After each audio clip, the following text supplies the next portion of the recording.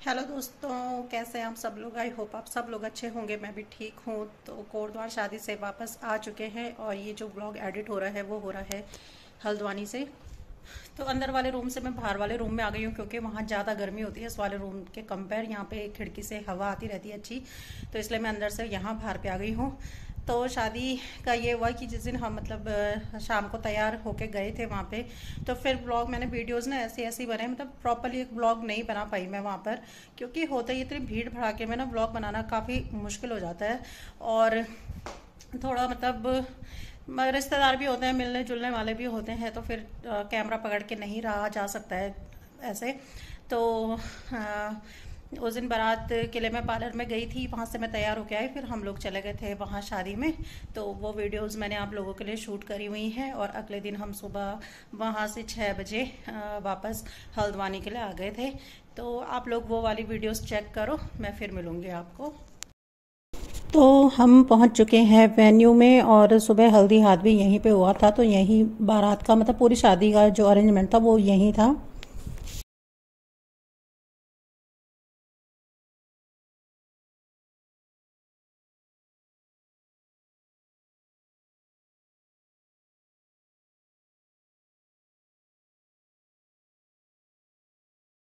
तो पंडित जी तो आ गए हैं। स्टेज में अभी बारात नहीं आई हुई है और जो स्टेज में पूजा वगैरह होती है, उसकी तैयारी कर रहे हैं पंडित जी। बाकी यहाँ पे सिटिंग अरेंजमेंट्स पूरे हो गए हैं।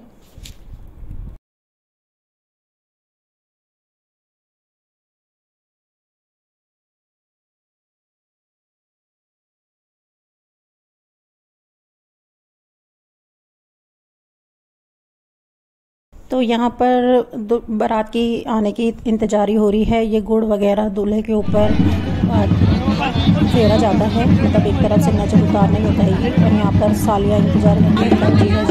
और जूते चुराएँ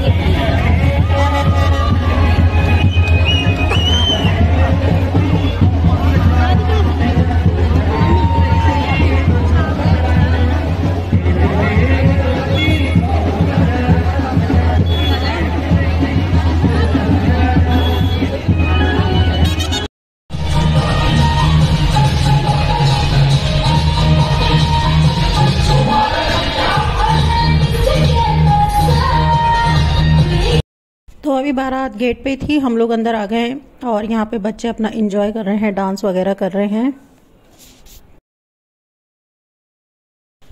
तो दूल्हा भी आ गया है स्टेज में और यहाँ पर जो हमारे यहाँ पे रिचुअल है, वो ये है कि मतलब दुल्हन का जो मामा या भाई होता है, वो दूल्हे को बाहर से गेट से उठा करके गोदी में और यहाँ पे स्टेज तक छोड़ते हैं। तो जो लेके आ रहे हैं वो दुल्हन के भाई हैं, एक अपने सगे भाई हैं और दूसरा शायद कज़न है। तो वो अभी यहाँ पे तक स्टेज पे तक बिठाएँगे दूल्हे को।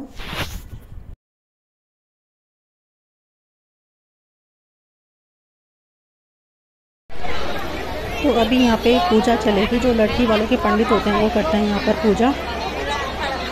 तो एक तरफ़ पूजा हो रही है और दूसरी तरफ़ हो रहा है डांस। तो चलिए आप लोगों को भी दिखाते हैं डांस।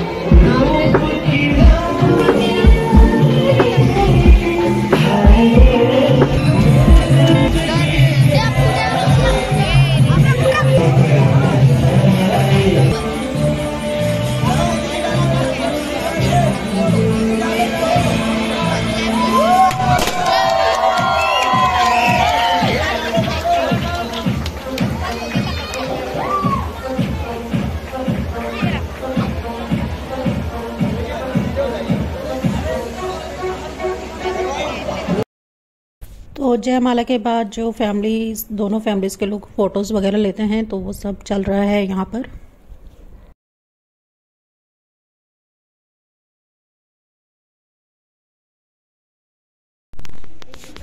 तो यहाँ पर दुल्हन आ गई है, फेरों के लिए।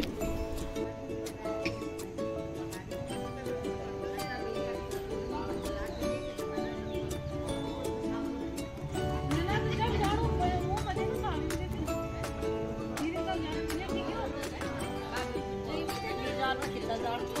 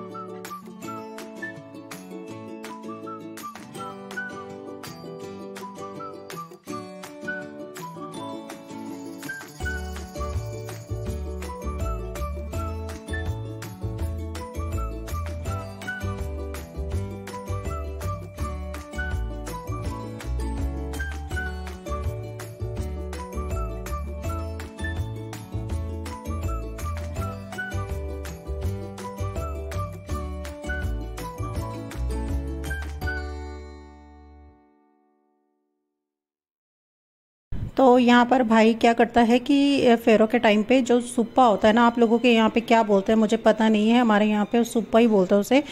उस पर खील देता है तो फिर दुल्हन छिड़काते छिड़काते जाती है। तो वैसे मतलब हम जो पौड़ी वाले लोग हैं तो पौड़ी वालों में भी ना सब जगह के अलग अलग रिचुअल हैं। मुझे ये अलग लग रहे थे इनके जो भी रीति रिवाज थे और हमारे यहाँ पे थोड़े अलग रीति रिवाज हैं। तो यहाँ पे ना ये सिलवट्टा रखा हुआ है, इसमें बत्तियाँ जलाई रहती हैं और वो दुल्हन एक एक फेरे में शायद उसे बुझाती है एक बत्ती को। तो इस टाइप से होता है कुछ।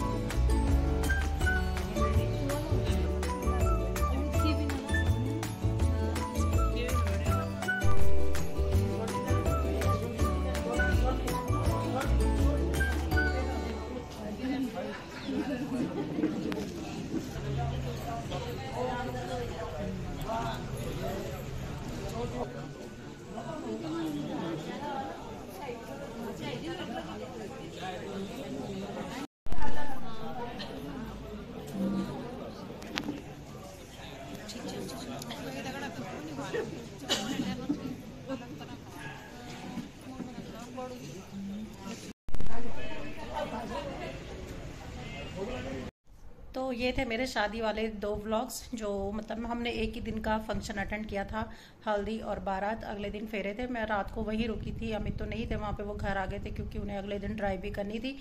तो इसलिए वो घर आ गए थे। तो मैं मौसी और उनकी जो बड़ी बेटी थी, वो थी, छोटी वाली की बेटी की तो ननद की शादी थी, वो तो वहीं पे थी। तो बस तो जो वो गहने पहनाने वाला ये सब सीन होते हैं ना, वो हमने कुछ भी नहीं देखी क्योंकि हम रेस्ट करने के लिए चले गए थे और वो कब हुए वो पता ही नहीं चला क्योंकि फ़ोटो सेशन ही चल रहा था साढ़े बारह, एक बजे तक। फिर दूल्हा दुल्हन ने खाना खाया होगा, फिर वो घर ऊपर आए होंगे, थोड़ी देर उन्होंने रेस्ट किया होगा, फिर उन्हें कब पूजा में बिठाया, हमें कुछ पता ही नहीं चला, हम रूम में रह गए। और फिर जब वो नीचे आए तो तब शूट हुआ। तो आज यहाँ जो फेरे हुए, वो भी सुबह हुए, पाँच बजे हुए, क्योंकि उनकी विदाई जो थी वो नौ दस बजे तक होनी थी। सुबह जल्दी नहीं थी विदाई तो तब फिर मैंने इतना थोड़ा शूट कर पाई। तो विदाई मैंने इसलिए शूट नहीं की क्योंकि हम उस टाइम तक निकल गए थे। हम मतलब फिर उस टाइम गायदान होता है हमारे यहाँ पर, वो हो रहा था वहाँ पर तो हम उस टाइम पे निकल गए थे, इसलिए मैं विदाई नहीं शूट कर पाई। तो बस ये है कि ये दो ब्लॉग्स आप लोगों को अच्छे लगे होंगे। थोड़ा बहुत मैंने जो हमारे पहाड़ी रिचुअल्स हैं, वो दिखाने की कोशिश की हुई है। और जो थोड़ा अरेंजमेंट था ना, वो भी थोड़ा सा खुले में जैसा नहीं था। आपने देखा होगा कि वो नेट वाली जो जालियाँ लगी हुई थी, वहाँ सिर्फ़ दूल्हा दुल्हन और पंडित जी के बैठने के लिए ही जगह थी। बाकी लोग सारे उन्होंने बाहर बिठा रखे थे वहाँ से। तो जो अंदर थे, वो सिर्फ़ दूल्हा दुल्हन, पंडित और शायद दूल्हे की सिस्टर थी एक और इधर से दुल्हन की कोई कज़न थी, वो थी। बाकी सब लोगों ने बाहर से देखे, फेरे वेरे, जो भी फ़ंक्शन हुए, वो सब। तो मेरे आगे कैमरे वाले भी बैठे हुए थे, इस वजह से मैं भी शूट नहीं कर पाई वहाँ पे ढंग से। तो थोड़े बहुत जो भी पहाड़ी रिचुअल्स थे मोटे मोटे वो मैंने आपको बताने की कोशिश की है। बाकी मैंने अपनी सिस्टर की शादी की भी वीडियोस अपने इस ब्लॉग यहाँ चैनल पे अपलोड की हुई हैं। अगर आपने डीपली पहाड़ी रिचुअल्स देखने हो तो आप उन ब्लॉग्स को चेक कर लीजिएगा। वहाँ मैंने पूरी वीडियोज़ ही डाली हुई हैं। तो चलिए फिर आई होप आप लोगों को ये जो रिचुअल्स हैं, वो पसंद आए होंगे। ब्लॉग अच्छे लगे होंगे शादी वाले। तो मिलूँगी अब मैं आपको कल के ब्लॉग में। तब तक के लिए बाय बाय